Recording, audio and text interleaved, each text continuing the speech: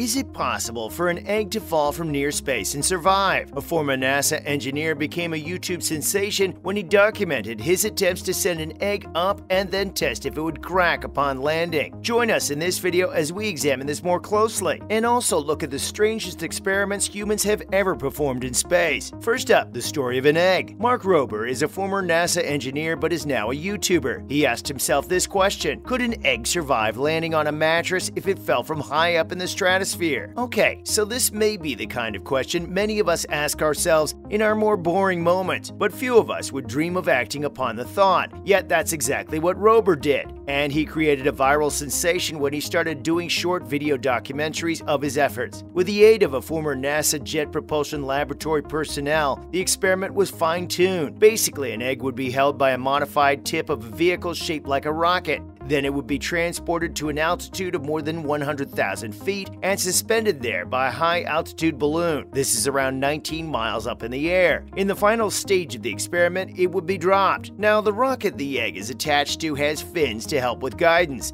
and these would assist in targeting the mattress on terra firma. Once the rocket was sure the egg was locked onto the mattress target, the egg would be released and allowed to free fall from around 300 feet up. Sounds simple enough, right? But it wasn't. It took three years. Those three years were a mega odyssey of dumb failures, lost helium, and silly voices, and scrubbed launches, and much, much more. Boredom often leads to magnificent breakthroughs, but you be the judge. We're going to tell you about the most outrageous experiments human beings have conducted conducted in space in just a moment. Keep watching. Now, how the ultimate phone a friend became the recipe for success. These early failures in Rober's Odyssey led to the ultimate phone a friend. He called on a good buddy, Adam Steltzner. Yep, this is the guy you saw when NASA landed Curiosity on Mars. When Curiosity touched down in 2012, it marked the debut of the rocket powered Sky Crane landing system. This NASA technology also managed to get the Perseverance rover safely back in early 2021. So, with those levels of experience at hand, things could only go better. The experiment was a success, and the 27 minute video Rober made to document the whole extravaganza has already garnered more than 21 million views since November 25th. Okay, so what are the strangest experiments humans have done in space? We may have a handle on the way things behave in microgravity. But bear in mind, we've been going into space for more than 50 years. Before that, we had no idea whatsoever. Let's take fire, for instance. Or what about planarian worms or plants? Experimentation in situ is the only way we could get answers to these and other burning questions. And sometimes these experiments were pretty darn fascinating. At other times, they were upsetting. And mostly, they were downright wacky. Take the spacesuit, Ivan Ivanovich, or Mr. Smith as an example. And yes, this was the name of a spacesuit, not an astronaut. Anyway, this spacesuit was stuffed with a whole bunch of old clothes. And we know you're asking what special kind of idiot takes old clothes into space. But it also had a radio transmitter fitted inside. The idea was to see if old spacesuits could actually be used as satellites. The official designation of this outer space scarecrow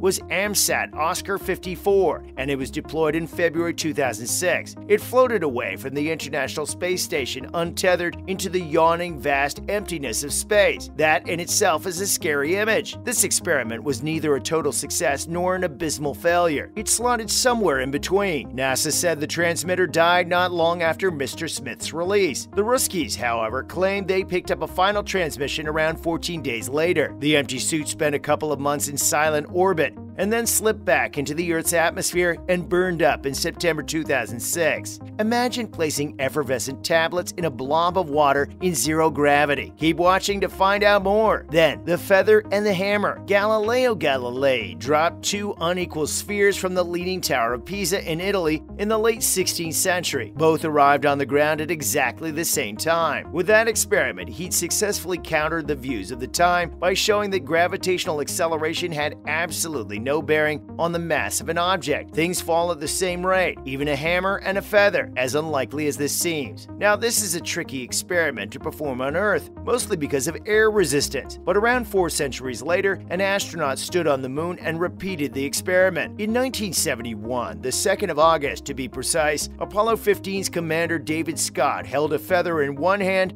and a geological hammer in the other. He raised his arms to around 1.6 meters off the lunar surface and dropped them. The atmosphere on the moon is pretty much a vacuum, so there's no air resistance. And voila, the two objects fell in absolute sync. And in case you were wondering, both the feather and the hammer are still up there. Also, how about a fizzy tablet inside a water blob? If you squirt water from a nozzle in microgravity, it just hangs there. It blobs and wobbles. This whole experiment sounds like a whole bunch of fun. For instance, when a plane simulates zero gravity by doing parabolic flights, it is called a vomit comet. Astronauts have popped water balloons in these circumstances to see what it does. Come on, we all want to do that now, right? On the ISS, astronauts have also attached a water blob with a bubble inside to a loudspeaker. This was to observe vibrations. And best of all, they put a GoPro camera inside a water blob to get a different perspective. It doesn't end there though. Scott Kelly, an astronaut, changed the color of water with food coloring. He inserted effervescent tablets into the blob and watched them as they dissolved and released gases into the H2O. The ISS has a new 4K camera camera, and this was used to film the whole thing. A tortoise may be slow, but a few lucky members of the species have flown around the moon. Watch until the end to see what happened. Now, what happens to fire in space? Water behaves differently in microgravity. We know this now, but so does fire. In 1997, there was a fire on board the Mir space station, but that hasn't happened since then, thank heavens. It is important to understand how fire behaves when gravity is all but absent